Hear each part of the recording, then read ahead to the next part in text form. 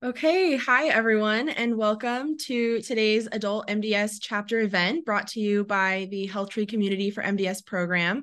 My name is Mary Arnett. I am the HealthTree for MDS Community and Education Manager. I'm very grateful and very excited to have everyone here today for this meeting and for all of the support in building our adult MDS community. I would like to let you all know that today's session is going to be recorded and the recording along with the slides and any resources we are shown today uh, will be sent via email to all of our registrants within 48 hours of the event concluding.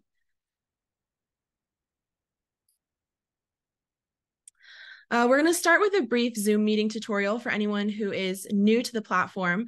We would love for everyone to have on your cameras if you feel comfortable. Uh, we believe that doing that helps us to have a stronger sense of community.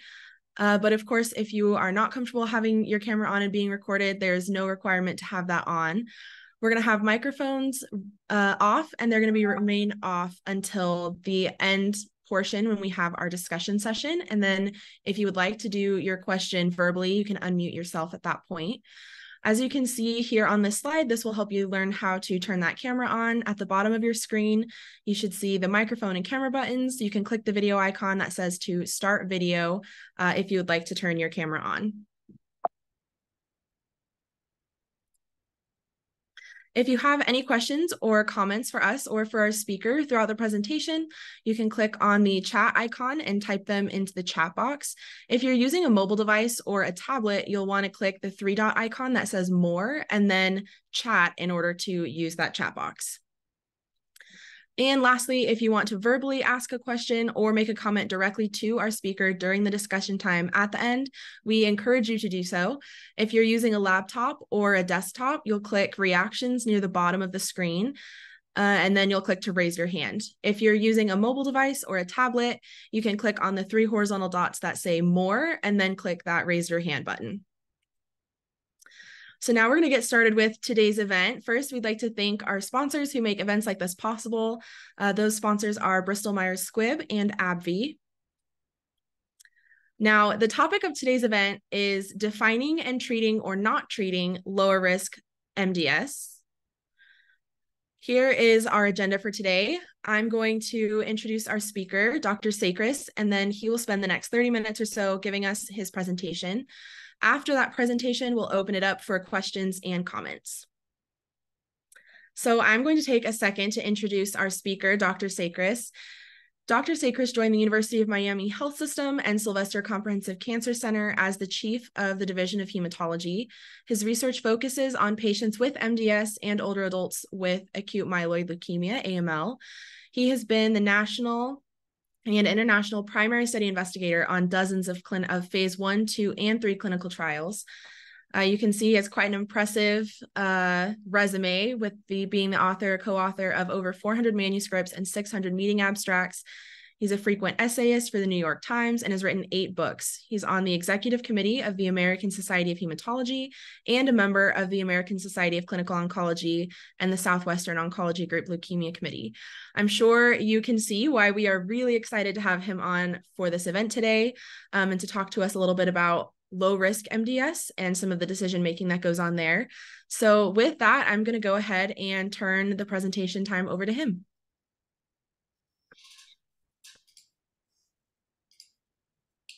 Great. Thank you so much for the lovely introduction, Mary.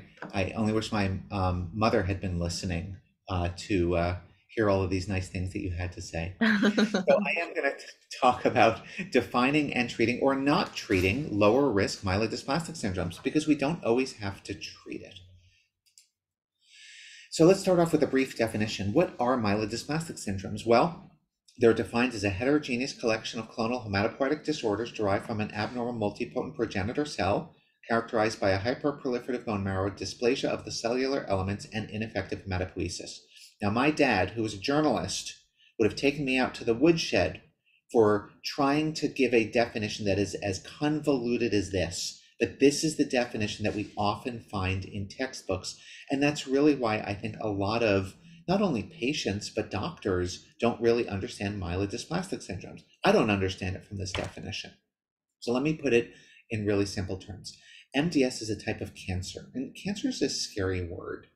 There are some cancers where you know, we really worry about them and we really rush to, to treatment because if we don't, the cancers could cause significant harm in people. But then there are cancers that we really consider to be more like chronic diseases, like a getting a diagnosis of diabetes, that we don't rush to treatment. And myelodysplastic syndromes is a huge range of those cancers from those that really aren't immediately life threatening to those that are potentially very, very serious. We're focusing on lower risk myelodysplastic syndromes, and we'll define that.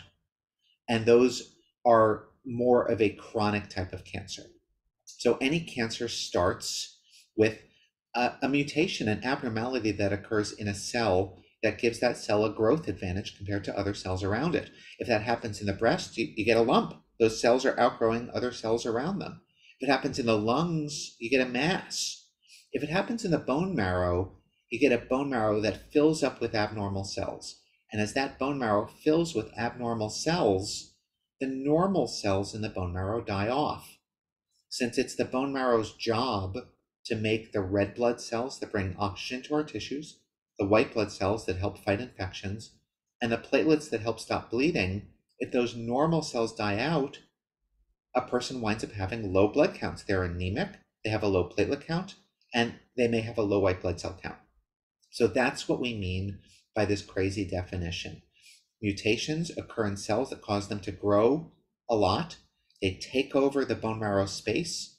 So, so it's a hyper proliferative bone marrow, but they're abnormal cells. That's what we that's what dysplasia is. Dysplasia means bad growing. So myelodysplasia are bad growing myeloid cells. And as a result, people have fewer blood cells in their bloodstream. So what does this look like on a on a genetic basis? Well, this is what I talked about earlier about a mutation in a cell. If you look in the center of the screen towards the left in the white portion of the slide, you see a little purple circle in the in the larger gray circle. The gray circle is a cell, the purple circle is a mutation. That mutation then leads to other mutations in the green portion. That's when we say people have a, a diagnosis that we've actually just developed in the past decade called clonal hematopoiesis of indeterminate potential or CHIP. As they acquire more mutations, they then progress to myelodysplastic syndromes. So, one important thing to remember about myelodysplastic syndromes is that when you have one of these mutations in a cell that causes it to outgrow other cells around it, I'm oversimplifying it. It's not just one mutation. People with MDS often have an average of four mutations that are significant. They may have over nine or 10 mutations in total that lead to the development of MDS. So it's not one thing that goes wrong, it's multiple things that go on that lead to the myelodysplastic syndrome. If those mutations continue to happen, then myelodysplastic syndromes can evolve into acute myeloid leukemia or AML. That is much more common in people who have higher risk MDS than lower risk MDS. So I made this distinction about lower and higher risk MDS. What do I mean by this? Well, the World Health Organization is one standard for how we define myelodysplastic syndromes, and they do it in kind of a funny way, which also is confusing about MDS. They, they start off with Does the MDS have a specific genetic mutation that we can identify? And some of the more common mutations are people who have an abnormality of chromosome 5 called a deletion 5q, those who have what's called an SF3B1 mutation, or those who have a TP53 mutation. And I've drawn red arrows where I would consider to be higher risk MDS as opposed to lower risk MDS. The red arrows are also next to patients who have increased blasts. Blasts are immature white blood cells. We all have blasts in our bone marrow. So I may have 1% blasts in my bone marrow right now because you need an immature white blood cell, a blast, to eventually make a mature white blood cell and to make a mature immune system. Once somebody has 5% blasts or more, we say that that's abnormal. Once somebody has 20% blasts, we would say that they have acute myeloid leukemia. So you can see how looking in the bone marrow, you can you can very clearly determine when somebody has myelodysplastic syndrome, if he or she has anywhere from 1% to 19% blasts. And then once those blasts move on to 20% or higher, we would say that the myelodysplastic syndrome has flipped into acute myeloid leukemia. Other lower risk subtypes of MDS are, are, of course, those who have low blasts with their MDS, or those who have what's called a hypoplastic MDS. That's a rare subtype of MDS where, for whatever reason, instead of filling up with cells, the bone marrow looks like a barren desert. It actually doesn't have a lot of cells in it. Now, as if that weren't confusing enough, the very same month that the World Health Organization released a classification of MDS, another group released a different classification for MDS. And this is why people get so confused by this disease. It's it it's our own fault. We we've tried to make it more complicated to define different subgroups in all of this. So you may go to a doctor and the doctor may give you a classification according to the World Health Organization, or you might go to a doctor and they do it instead by the International Consensus Classification. This again identifies patients who have those genetic mutations, SF3B1, deletion 5q, but then what it does is identifies patients who have MDS with what's called single lineage dysplasia. Some people who have MDS have only anemia, or only a low platelet count, or only a low white blood cell count. On the other hand, there are some patients who have MDS with two blood counts or three blood counts that are abnormal. Those have multilineage dysplasia. Again, once patients have excess blasts at the bottom of the screen where the red arrow is, we would say they have higher risk MDS. Another thing that the ICC did, which is very confusing, is identified an overlap term of patients who have myelodysplastic syndrome and acute myeloid leukemia when they have between 10 and 19% blasts. This has not gotten wide acceptance in the MDS community. And as I explained earlier, somebody who has, for example, 17% blasts, making a distinction between that person at 17% blast and somebody who has 20% blast, where we would call them acute leukemia, is really kind of silly. They're, they're very similar to each other. So while I appreciate the fact that the ICC did say with patients who have 10 to 19% blast, gee, they're getting pretty close to AML, it actually kind of makes it more confusing to all of us. So if you're if you're trying to keep this straight, less than 20% blast is MDS, 20% or more blast is considered acute myeloid leukemia. Why is this so important? Why am I spending five minutes on the diagnosis of MDS? The reason I am is because the diagnosis is tricky and it's even tricky for pathologists.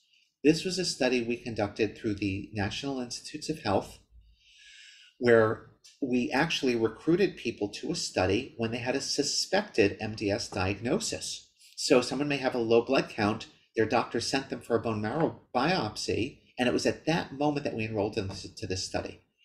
Their local pathologist, let's say somebody was enrolled into the trial and they lived in Nebraska, their Nebraska pathologist made a diagnosis, and then we received the same specimen from the bone marrow at our central location and our pathologists, who are experts at MDS, also looked at that diagnosis. And guess what?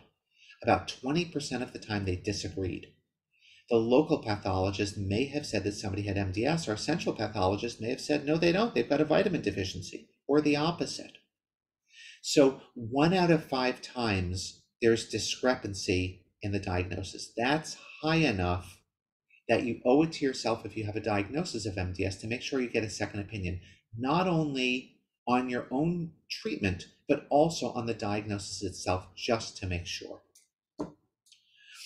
Now, one of the most common questions my patients ask me is what stage am I? If, if MDS is a cancer, what stage cancer do I have? Well, we don't stage MDS, and the reason is that it occurs in the blood and bone marrow. So if we were to stage it, it would be a little silly. We would say, okay, everyone has stage four, and clearly not everybody has an advanced version of MDS. So instead, we quote unquote stage it based on some risk factors. We do that based on the genetics of the MDS, that blast percentage that I keep keep talking about that's so important, and then the number and degrees of low blood counts. So low hemoglobin, low platelets, and a low neutrophil count. Neutrophils are a subtype of white blood cells, and then we generate a score. And you can see there are some people who have a very low score, one and a half or lower, who have an average survival that approaches a decade. That's very low risk MDS. And that's that's where you can understand that I would call it a chronic cancer. On the other hand, there are people who have a very high risk MDS. Let's say they have very poor genetics, high blast percentage, and multiple cell lines are affected are low, those folks have an average survival that's less than a year. It's those folks that we intervene on very quickly. Whereas people who have lower risk MDS, we don't necessarily have to offer a treatment quickly or offer a treatment at all. That cut point for lower versus higher risk MDS using the revised IPSS International Prognostic Scoring System, that's our staging system, is three and a half. So people who have a score that's three and a half or lower, we would say have lower risk MDS. Those who have a score that's over three and a half, we would say have higher risk MDS. But MDS is even more complicated than that. So we also look at mutations, those genetic mutations at a very low level. And we've identified about 100 genetic mutations that we now associate with myelodysplastic syndromes. So we test for them. And they all have these silly nomenclatures where they're a combination of letters and numbers. We can make it very easy though. The good risk mutation, the one that, that you know you want to have is the SF3B1 mutation. That's the one way at the bottom that's in blue. That's a good risk mutation. All of the others really don't affect risk very much, or they may adversely affect risk. They may be poor risk mutations recognizing that there's this whole other collection of data that we have that affect how we think about prognosis and risk in MDS. There's a, a new version of the International Prognostic Scoring System that yeah, actually you enter data online and you can do this yourself. It's publicly available. If you Google IPSSM for International Prognostic Scoring System molecular, you'll get to a website on the MDS Foundation and you can actually enter data about yourself. And that's data about your blood counts, about your age, about your bone marrow biopsy. So it's important to get that bone marrow biopsy report and about those genetics. And it will produce a score that is very accurate for predicted survival and predicted um, risk that the MDS will go into leukemia. Now, remember, when you do this, this is based on a population of patients, so it may or may not apply to an individual, but it kind of gives you a sense of whether we would think about this as a lower risk MDS or a higher risk MDS and the urgency to pursue treatment. Okay, so let's talk about an individual patient. 72 year old woman comes to my clinic with worsening fatigue and she tells me it feels like my legs are encased in cement. And I actually had a patient say this to me once because she was profoundly anemic. She now uses a handicap parking tag to park close to the casino entrance when she goes gambling. Her past medical history is notable for high blood pressure, heart disease, and she's a smoker.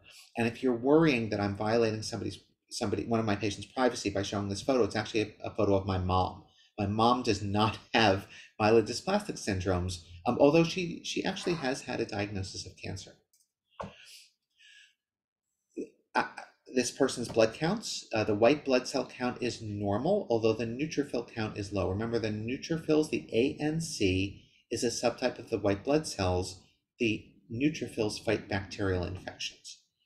She's anemic. Her hemoglobin, we, met, we, we refer to the amount of red blood cells by the hemoglobin is 7.8. That's about, about one third lower than it should be. Her platelet count is normal at 174,000, and a bone marrow biopsy shows that she has too many cells in her bone marrow. Remember, MDS is a, is a cancer, so it causes a hypercellular bone marrow. She has abnormal cells that make red blood cells. That's called dyserythropoiesis and they're associated with ring sideroblasts. Ring sideroblasts, um, if you imagine the bone marrow sample, the pathologist added dye to those cells, and the dye is taken up in this beautiful ring, almost like Saturn, um, around some of the cells. That's called a ring sideroblast. Those are important for a couple of reasons. First of all, they are associated with the SF3B1 mutation, that's the good one, and there's a specific drug that's been approved by the FDA for people who have ring sideroblasts. Her genetics are normal, but she does have that SF3B1 mutation. So this is how we use the IPSSR. We, we, we add a score to it based on the number, uh, based on the blood counts and how low they are, based on the genetics and based on the blast percentage. So her score would be 2.5. We would say, say she has lower risk MDS. We also can score this by the IPSSM, and her score for the IPSM would also put her into a low risk category. This is literally how we use these systems to do essentially staging of MDS. How do we treat it? Well, we treat MDS based on the predominating low blood count when a patient walks into our office. So if you look at the left of the screen, you may have, you yourself may have no transfusion needs with your MDS and a good quality of life. That's wonderful. One of my patients once referred to that as having mild displeasure syndrome. And it, for him, it was. He didn't like to have to fight the traffic to drive into Miami to see me. But other than that, it didn't really affect his life. These are the folks we don't have to treat. We observe them. I will follow my patients every few months, make sure their blood counts aren't changing, make sure they're feeling well. We shake hands. I see them in another few months without a drop of therapy. On the other hand, I have some patients who come into my office and they have anemia. I have some patients who walk into my office, they have what's called thrombocytopenia, that's a low platelet count. And I have some patients who walk into my office and they have multiple cytopenias. So they might have anemia and a low platelet count, or anemia and a low white blood cell count. And this is how we determine what therapies we give to somebody with lower risk MDS. So that first category, like I mentioned, no transfusion needs, good quality of life, fabulous. The only thing I'm going to add to that person if I give them treatment are side effects of therapy. We do not allow somebody to live longer or to live better by starting therapy early when they have lower risk MDS. So in this person, I don't do a darn thing. I just let them go. Why is that? Well, I like to think about lower risk MDS the way my patients might think about it and the time that they have to invest into getting treated. I think about the time my patient wakes up, gets dressed, gets into a car, has to drive to the cancer center, has to park the car, has to walk to the laboratory to have blood drawn, has to wait to see me, wait for the doctor's appointment, sees me, then has to wait for an appointment in our infusion center if that person's getting an intravenous drug then has to wait in one of the chairs in the infusion center, then receives the infusion, then walks back to their car, then has to drive home. So, whenever I think about a treatment for one of my patients who has lower risk MDS, I ask the question is it worth it? Is it worth all of this time, effort, and money that somebody has to expend to come and see me to get a treatment for me to prescribe that treatment? So, let's focus on folks who have anemia. Um, and a lot of these folks start to have to require blood transfusions. And these are people in whom we start either an erythropoiesis stimulating agent or the drug luspatercept. And let me explain what I mean by that. Erythropoiesis stimulating agents are hormones. The most common ones are erythropoietin, so commonly called epogen or procrit, or darbepoetin, often called an aranesp. These are hormones that we give to folks. They're not chemotherapy but they stimulate the remaining normal bone marrow cells to make more red blood cells. When we give this to our patients, the chance that they're going to work is somewhere in the range of 15 to 40%. There was a study that we did a little over a decade ago that showed that over 20 years of research in this, the, these drugs work about 40% of the time. There was another study that was conducted in Europe that at first showed that they only worked 15% of the time, but then when they followed patients for a longer period of time, they wind up working 35% of the time. So that's why I give this range. They work about 15 to 40% of the time to improve the red blood cells, improve that hemoglobin, and even eliminate the need for red blood cell transfusions in patients. Now, luspatercept was recently approved by the FDA. This is a study that we conducted and published in 2020. It was it was luspatercept was approved soon afterwards for patients who have those ring sideroblasts or that SF3B1 mutation and who had already been treated with one of those erythropoiesis stimulating agents, either the Procrit or the Aranesp. In those patients, luspatercept worked 38% of the time. And on average, it worked for about 32 weeks, so about 10 months out of the year. One of the things I always point out with the luspatercept study, though, if you look at the right-hand portion of the slide, every red dot you see is a blood transfusion that patients received. And the length of that blue line is how long somebody went get without needing a transfusion on the loose. luspatercept. And what you see is that some of those red dots interrupt those blue lines. In other words, someone might have gotten gone for a period of time, let's say 10 weeks without needing a transfusion, then needed one bag of blood, but then may have gone another year or two without needing a transfusion. So in starting loose luspatercept, it's given every three weeks. I wouldn't worry that it failed if a person gets one bag of blood. I would keep giving it and see if it continues to work even beyond that bag of blood. The other thing about luspatercept is that the dose can be increased a couple of times. So we start at one dose, you can increase it once more, and then once more after that. Now, luspatercept recently, just a few weeks ago, has been approved by the FDA upfront so that people don't have to have been exposed to an erythropoiesis stimulating agent. They can get it right out of the gate if they have anemia with their myelodysplastic syndrome in this study, it worked 58% of the time compared to the, those erythropoiesis stimulating agents working 31% of the time. But there's a big caveat to that, and that is that if you focus just on patients who have ring sideroblasts, gee whiz, they really did seem to benefit from the loose luspatercept compared to those who got the erythropoiesis stimulating agents. But if patients didn't have ring sideroblasts, the drug didn't seem to work any better than erythropoiesis stimulating agents. So if you have MDS with ring sideroblasts, you can choose. You can start with an erythropoiesis stimulating agent and then go to loose luspatercept, or you can use luspatercept right out of the gates. If you don't, if you have MDS but it doesn't have ring sideroblasts, then there doesn't appear to be much benefit to starting the luspatercept right out of the gates. And this is the duration of response for patients on this study. Those who got luspatercept seem to actually do, do well with it for a couple of years.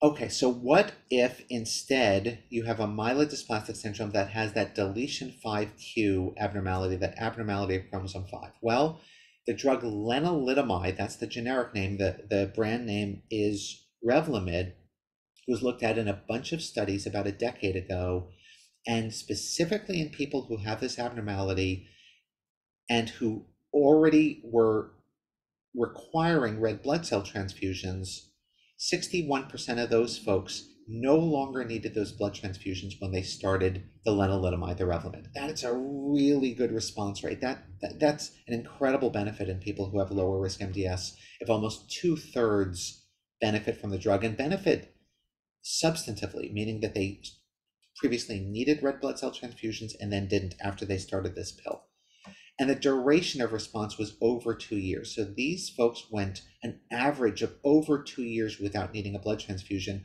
I've personally treated folks with this drug where they've gone four or five years and counting without needing a blood transfusion.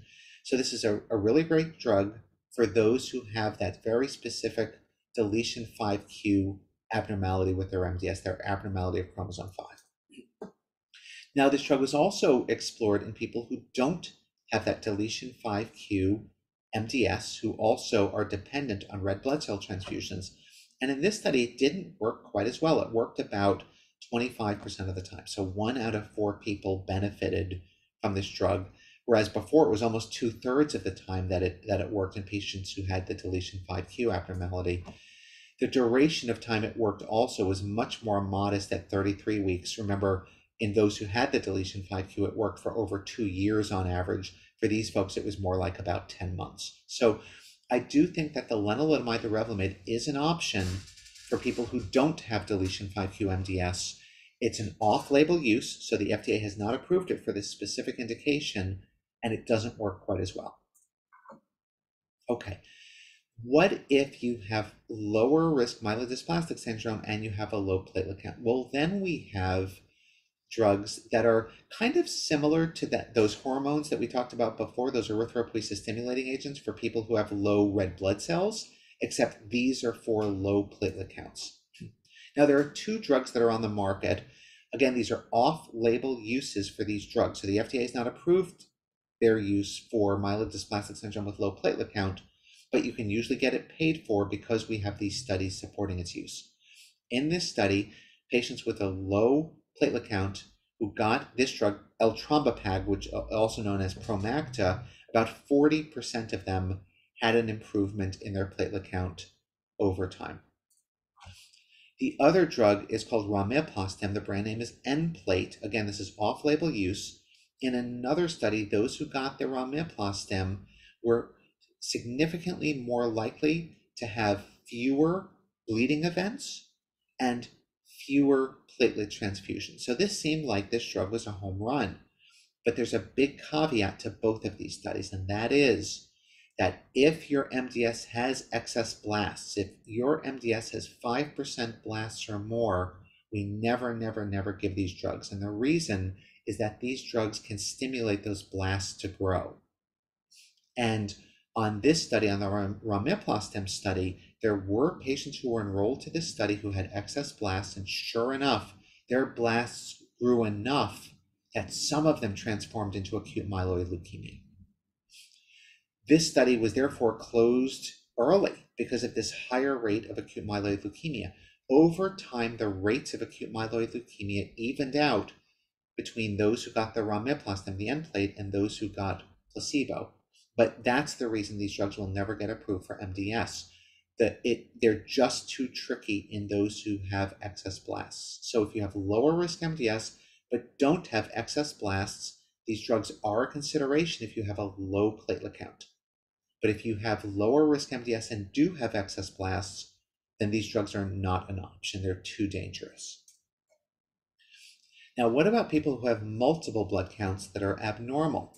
Well, in these folks, I think the standard of care are what are called hypomethylating agents.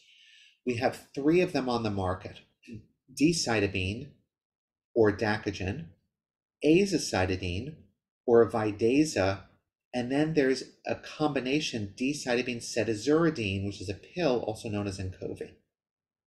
In this study, we actually gave less of the decitabine and the azacitidine, the Dactin and the Vidaza, than the label recommends. Instead of giving five days of the decitabine, we gave three. And instead of giving seven days of the azacitidine, we gave three because the patients we enrolled to this study had lower risk MDS. I frequently will give seven days of azacitidine for my patients with higher risk MDS, but I've always thought that's too much for my patients with lower risk MDS. So we actually studied it and gave these drugs for three days every 28 days. We enrolled 113 patients onto this study. And what we found is that the drugs worked about 54% of the time. That was about 20% higher than has been seen previously. So it turns out that less is more. Giving only three days of the decitabine or three days of the azacitidine worked better than giving five or seven days of these drugs. And um, the p- patients who required blood transfusions prior to starting the study, about one third of them no longer require blood transfusions. So I want to, those are kind of the overview of our standard drugs for lower risk MDS and how we think about treating or not treating lower risk MDS. Um, and I'm happy to take any questions about this. Thanks so much for listening today.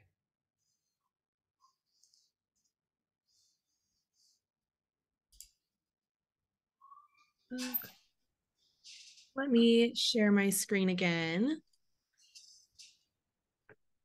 Okay, so now thank you so much for that presentation. That was so, I learned so much from that. Um, and I hope those in our community here did as well. So now we'll have time to take any questions. So, like we showed before, if you wanted to do a question in the chat, you can go ahead and click on that chat icon at the bottom and then type it in. Or if you are on a mobile device, you can click the um, three dots and then the chat. Or if you would like to do your question verbally, you can raise your hand and then we will make sure that we get that we call on you to ask your question. Uh, so it looks like we have one question. Uh, Katie says, How do I know the bone marrow biopsy results I'm getting are going to be accurate? Is there a certain type of pathologist I should be asking for? Yeah, that's a great question, um, Katie. And that kind of gets to the, the meat of that study that we did through the National Institutes of Health, where we compared the accuracy of diagnoses from one pathologist to another. And I, I felt so strongly about this. I actually wrote an editorial that was in the Wall Street Journal a couple of weeks ago about the importance of getting a second opinion on this. So, um, the first thing I would do is ask for a printout of your bone marrow biopsy.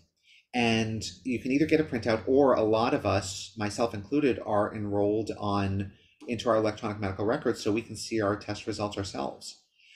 Then, what I would do is make sure that you're at an MDS specialty center. One of the, you saw how I spent a lot of time at the beginning of my presentation talking about how tricky it is to make the diagnosis of MDS and how confusing it is. Well, imagine that you're a pathologist who's practicing in a general hematology or general cancer clinic. Most of the patients you're going to see, most of the specimens that you're going to see are going to be from people who have breast cancer, lung cancer, colon cancer, or prostate cancer. Why? Because those are the most common cancers. You're going to see really very few samples from people who have myelodysplastic syndromes. As a result, you're just simply not going to be as good at reading bone marrows from people who have myelodysplastic syndromes. So, what I urge people to do is to go and see an MDS specialist, and there are a bunch of centers of excellence for MDS around the country. You can even contact the Aplastic Anemia and MDS Foundation, where I'm I'm actually um, chair of the medical advisory board for them. They will direct you to good people who are closer to home and insist that your bone marrow specimen also be evaluated at that specialty center because they are far more likely to have pathologists who are experts at looking at MDS bone marrow samples. Thank you for that answer. Uh, we have another question. Uh, when do you start treating anemia? What kinds of symptoms should I be watching for that might mean I need to start treatment? Yeah, that's a, another great question. Um, so I have kind of a rough you know, back of the envelope way of, of calculating this. Um, most people don't have any symptoms from anemia if their hemoglobin is greater than 10. So it's very rare with the hemoglobin greater than 10 that you're really going to run into any problems. And it may be something else that is related to symptoms. So, what do we mean by symptoms of anemia? Uh, a lot of my patients tell me that they feel tired, they get short of breath, particularly if they're walking up an incline or climbing stairs. They may have less of an appetite than they than they did before. Um, occasionally, my patients will say that they get headaches, but you can hear how nonspecific these symptoms are. Someone who the, the average age of diagnosis of myelodysplastic syndrome is about 71 years old. So imagine somebody coming into my clinic at age 80 who says, you know, I've been more tired um, and I don't have the stamina that I used to. Those are kind of broad symptoms. They're hard to tie down to one specific diagnosis. It could be related to myelodysplastic syndrome and, and anemia, or it might be related to somebody who has heart disease, right? Could be either one, or maybe somebody who has COPD. So, our first job is to identify whether the symptoms are truly related to anemia or not. In general, as I mentioned, hemoglobin greater than 10, extraordinarily rare to have symptoms from anemia. Uh, hemoglobin in the nines, also kind of unusual. My patients start to tend to feel it in the eights and definitely feel it with a hemoglobin in the sevens. So for my patients, I don't start thinking about transfusions until they get into a hemoglobin that's, you know, less than eight and a half or even less than eight. That's when I would start to treat it.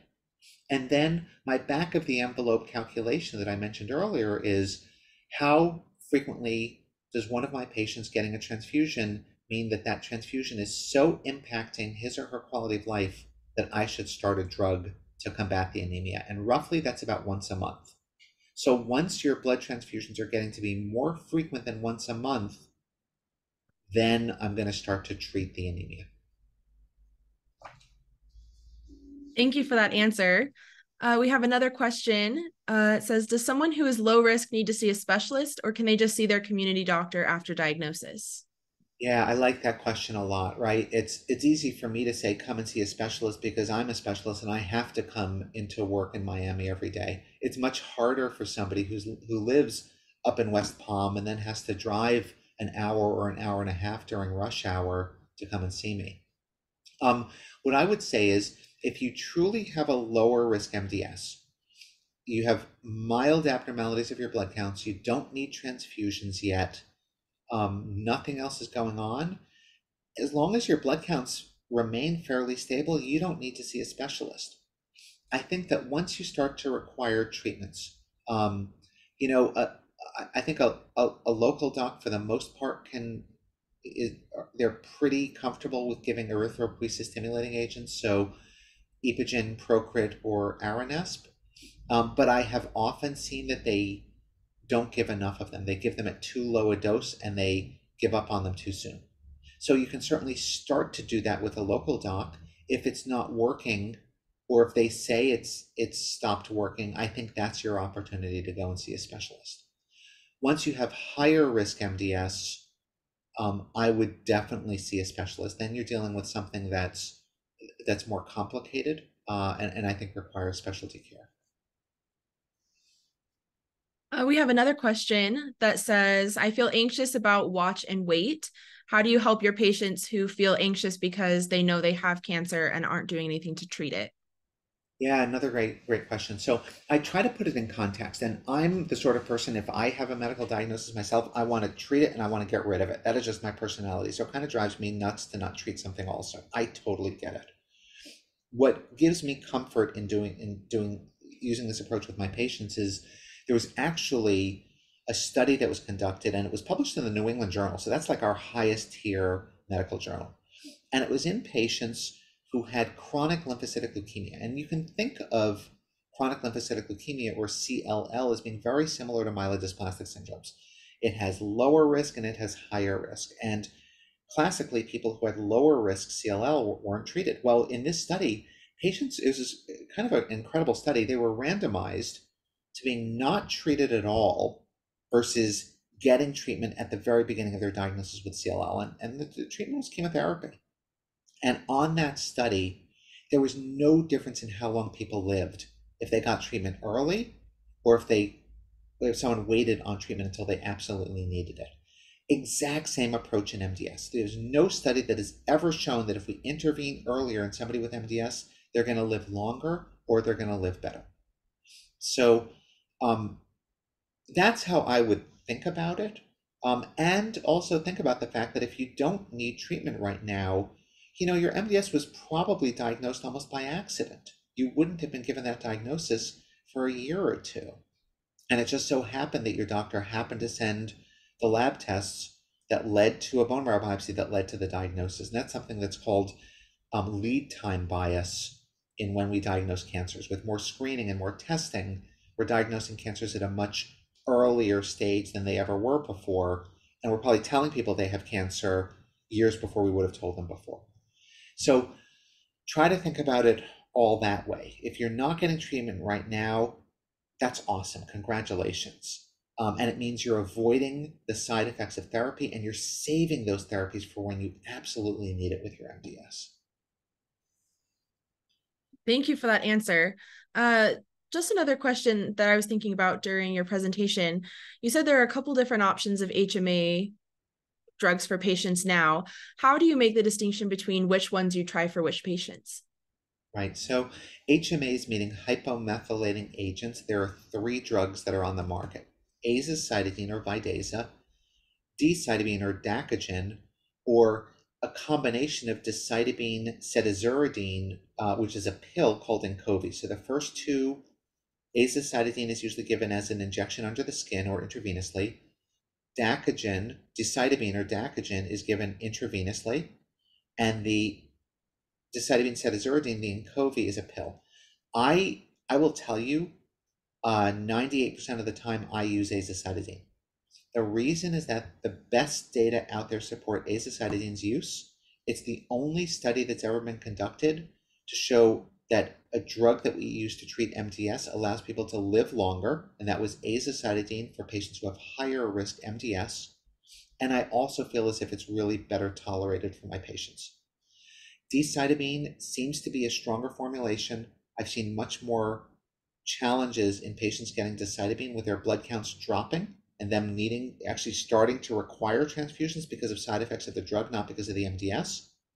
And the Inqovi was only approved by the FDA. The decitabine cedazuridine pill was approved by the FDA based on the levels uh, the drug reached in the bloodstream, not based on how well it works or really on side effects of the drug.